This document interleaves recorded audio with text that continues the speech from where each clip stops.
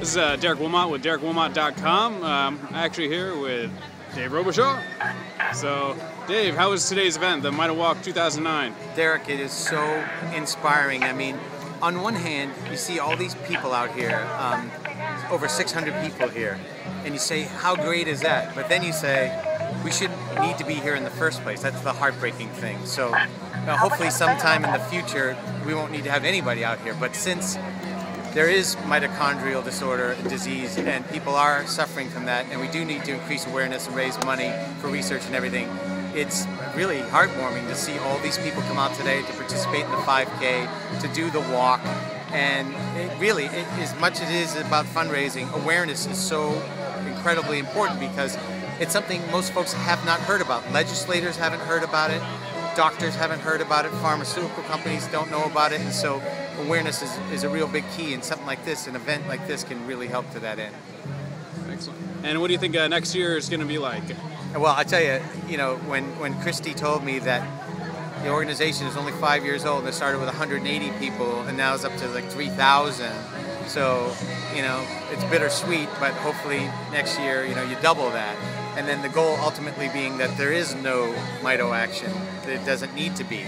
Um, and let's hope that day comes.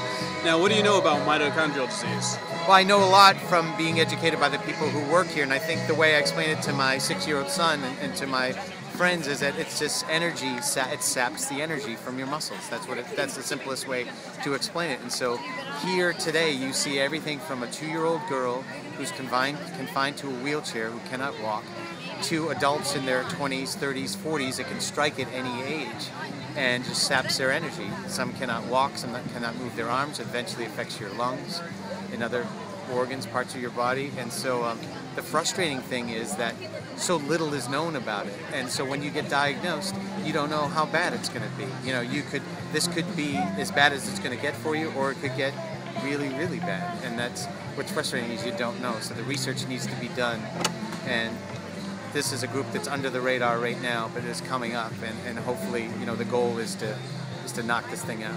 If you want to find out more about um, mitochondrial disease, mitoaction.org is the place to go, and they'll tell you about everything. From uh, I just met a guy from Pittsburgh. Okay, he and his wife were touring around online. They have a family member that has mitochondrial disorder, and they flew out. So I was giving him a hard time because he's wearing a Pittsburgh Steelers hat, and I'm a diehard Patriots fan and uh, he was joking around with me. But after he put his arm around me, he said, "Look, I know you're joking around about me being from Pittsburgh and everything, but let me tell you, we flew here from there because there aren't many events like this going on. It was worth it to us to come all the way to Boston, Patriot country, um, and to, in order to raise money and be a part of this whole thing. And I think that's fantastic. So, you know, I know one Pittsburgh Steeler fan.